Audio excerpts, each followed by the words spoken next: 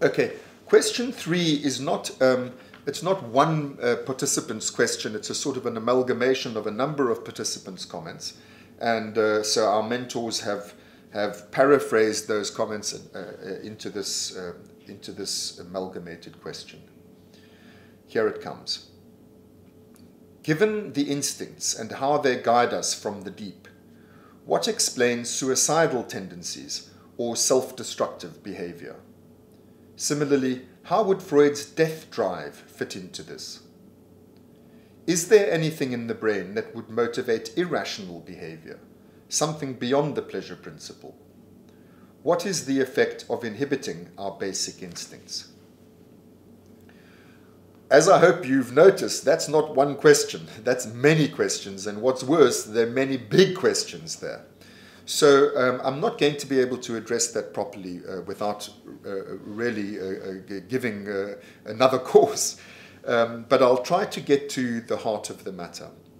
The heart of the essence here is about irrational behavior, exemplified uh, by suicide, which would seem to be the most irrational of behaviors if the guiding principle of the mind, as I'm claiming, if the guiding principle is that the mind serves the purposes, the basic biological purposes of survival uh, to reproduce. What could be more irrational in a world governed by the rule, thou shalt survive and reproduce, than to kill yourself? Um, well, let me come at that question in a roundabout way, and I'm going to pick up again on this theme of there being a distinction between the affects, the, the motivational forces of the mind, and the representations which, uh, which um, uh, relate to the external world in which, in which these, the, the needs of the body can be met via um, our motivational um, interaction with the world and its representations. Those motivational mechanisms, the basic instincts referred to in this question, they are rational in themselves in the sense that they are designed or that they have been selected in uh, through natural selection by dint of the contribution that they make to our survival and reproductive success. But those uh, instincts then have to attach to an external world which is, which is highly unpredictable and variable. And uh, through learning, you attach the motivational force to a particular uh, a, a type of object. And there things can go awry and do. And I'll use a, a famous example Konrad Lorenz. Konrad Lorenz, uh, who was one of the sort of um, discoverers, if you, if you will, of, of, of the attachment bond, um, what was then called imprinting behavior. Uh, he did a famous experiment with, with, uh, with geese uh, in which he took the, a, a batch of, of eggs um, uh, from which goslings were hatched uh, half of them were hatched in the normal way by the mother, the mother goose, and uh, as the little goslings came out of their eggs, so they looked up and saw here's mummy, and they all started to follow her as as goslings do with their with you know you've seen the little strings of goslings all you know running after after mummy goose. That's what they do. Um, but the other half of the eggs were hatched in an incubator, and the first uh, uh, living creature that they found uh, tending to them when they came out of the eggs was Konrad Lorenz himself. So what did they do? They all imprinted Konrad Lorenz and followed him around. And uh, this then stayed the same for life. So you, you, you, you could uh, uh, mix all of these goslings up and uh, in, into, a, you know, into a crowd and then you put Mother Goose here and you put Konrad Lorenz there, and they would separate out according to you know, which of those two halves they were, they, which of those two conditions they were hatched in. And this lot would always follow Conrad, Konrad Lorenz. Now, if you're a little baby goose um, and you're needing to attach to your mum, it's a very bad idea to attach to some funny biologist. You know, this is not the, this is not uh, this mechanism is not designed to attach to biologists. It's designed to attach to whoever's caring for you, you know, uh, uh, at the point that you're born. In other words, Mother Goose. It could be a fox, you know, that's standing around at that point, and you attach to a fox and you're a little gosling. Well, you know, that's very bad news. It's much worse than a biologist. Uh, you know, you could attach to a robot Uh, the point being that the content, the representational content, is not given. The instinct is. So the instinct says, I must attach to whoever's you know around when I when I hatch. Uh, but if the wrong thing's around when you hatch, you're going to attach to the wrong thing. A sort of slightly um, um, facetious analogy is fetishism. I mean, think about it. You get people whose whole sexual life is about stiletto heels, or you know, or worse. Uh, you know, you shouldn't be sexually attached to stiletto heels. You know, you're not going to have much reproductive success that way. But the instinct, the, the, the, the, the sexual instinct, uh, doesn't, it, it, built into it is not what sort of object you should attach to. That depends on experience. And um, uh, you can extrapolate from the example that I've just given to the broader question that's been raised about irrational behavior. The question is why do we have irrational behavior if we have these instincts that are designed you know, in such a rational fashion? That's how it happens. It's because the whole thing is not in the instinct. The instinct is just a kind of tool uh, which you then have to marry uh, to the world of experience in order to learn how to use that tool. And that's also for very good reasons. It's because you can't predict everything about the environmental niche that you're going to be born into. Um, that's why it has to be nuanced. Now, that's one reason why everything can't be built into the into the into the instinct. The other reason why you have to have cognitions, you have to have an individualized um, ego, as the psychoanalysts call it, a, a me, uh, which is my personality that isn't born, but it's it's it's in fact me. It's it's the it's the thing that evolves between the world that I find myself in and the instincts that I'm that I'm born with and the feelings they give rise to. Um, is it's not only because the, the world that you're born into is unpredictable and nuanced, and uh, you know you you have to have flexibility for that reason. It's also that you need to have this thinking apparatus uh, because instincts can be incompatible with each other. Uh, an obvious example you attach to, say, a mum, your mum. This is, this is your attachment object, and you feel all of this affectionate bond toward her. But uh, the, the, the, that's the attachment instinct. You also have a rage instinct. That same person that you've attached to and that you need so terribly, desperately for your survival uh, can be also the object that frustrates you and arouses your uh, your uh, your wrath, and you want to bite her and kick her and kill her. Now you've got a conflict. You know you've got a problem. Uh, you've got uh, the same object that you so badly need uh, is an object that you want to um, annihilate you, you, you, have got two instincts, both of which have uh, very good um, reasons, survival and reproductive success wise, for being there, but they give rise to two opposite um, uh, motivational intentions in the real world, and uh, the, these uh, uh, need to be reconciled with each other. So it's how we resolve these conflicts um, is again the, the, the, the, um, the uh, spawning ground for irrational behavior because you know there's there's no right way to do it. It's a, it's a problem. You've got to resolve this. You've got to come up with some sort of compromise, and uh, some compromises work better than others. So I hope that that general principle is clear. I want to now uh, uh, uh head towards suicide. Again, using this concept of there being first of all, the instinctual affective tendencies, and secondly, the representations of the objects in the world, you know, that, that, that, that uh, are invested uh, with these instinctual forces we have in this representational world, as I've just said, you can have one representation of a mother that you love and another representation of a mother that you hate, and somehow these two things have to be amalgamated with each other, or not. You know, you can also have what psychoanalysts call splitting, where you know, and I'm sure you all know it from your relationships.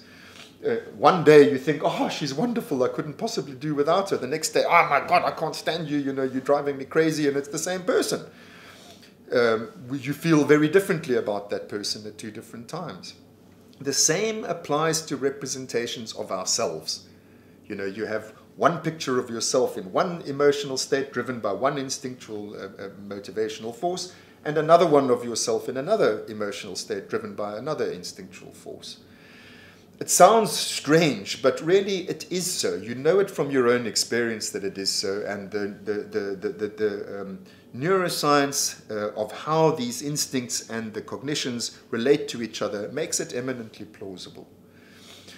The, why I'm telling you about all of this is that in your mind, you know, the, the rageful feeling, can that which, would, which is designed for your survival. It's a, there's a very good reason why you have it.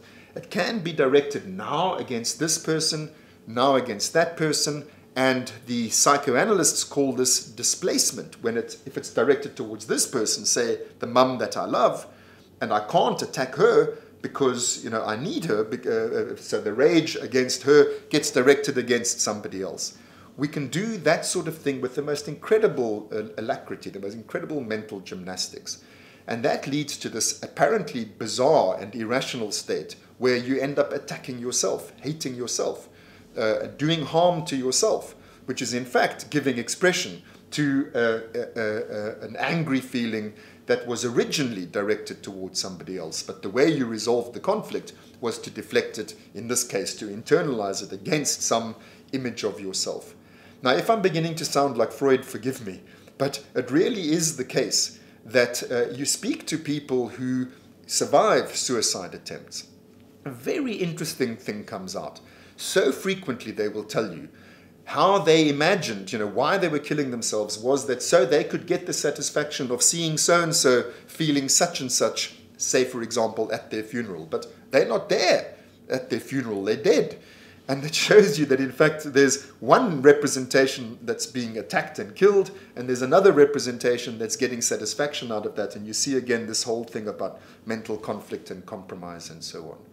So, to bring all of this down to a simple, I hope, uh, uh, uh, um, perspicacious statement, the instinct of aggression is itself a rational thing. It's, in other words, it serves a useful biological purpose.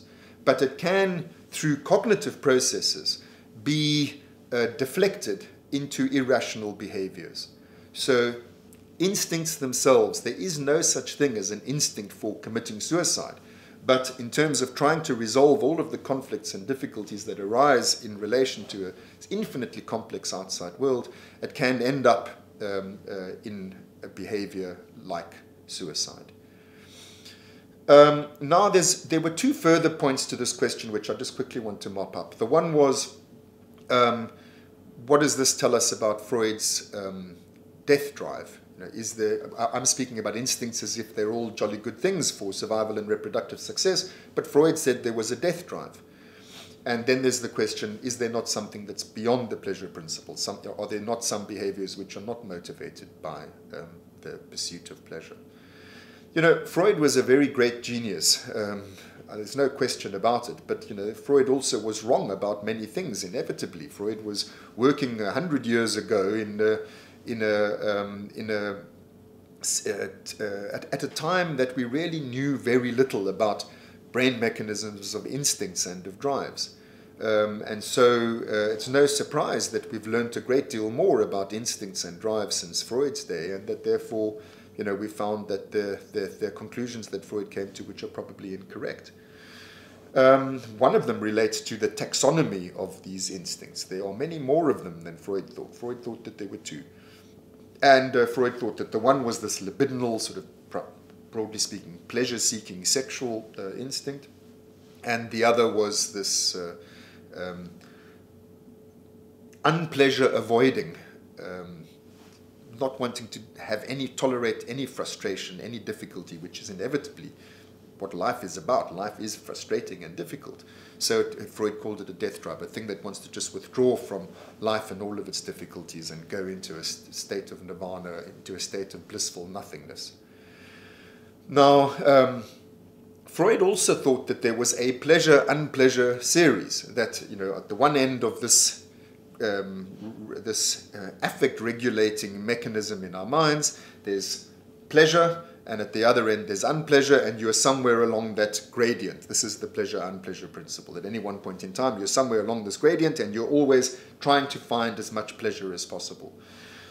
it's perfectly plausible that there would be two mechanisms. Uh, there doesn't have to only be one. There could be one mechanism which is a pleasure seeking mechanism, and there could be another one which is an unpleasure avoiding mechanism, and they don't in fact have to be you know, uh, two ends of the same gradient. Uh, and I'm, by saying that, I'm leading towards this observation, which I've already implicitly said, which is that there are actually many more instincts uh, uh, at work in the human mind and the mammalian mind than Freud thought. And uh, each of them is a, is a particular variety of pleasure and unpleasure. There isn't an overarching pleasure unpleasure series. There are, there, are, there are multiple pleasures and multiple unpleasures, and some instincts are purely unpleasure avoiding ones, like the rage uh, instinct and other ones are purely pleasure seeking uh, ones, like the seeking instinct. And um, I think that all of the phenomena that Freud um, hypothesized or that Freud formulated under the hypothesis of a death drive could be better explained, um, for example, just by saying, well, there's an unpleasure avoiding tendency uh, in, in, the mind, and in fact, there are multiple unpleasure avoiding tendencies in the mind at an instinctual level. And um, these better explain, um, I think, the clinical phenomena that Freud referred to um, when he formulated this, this death drive.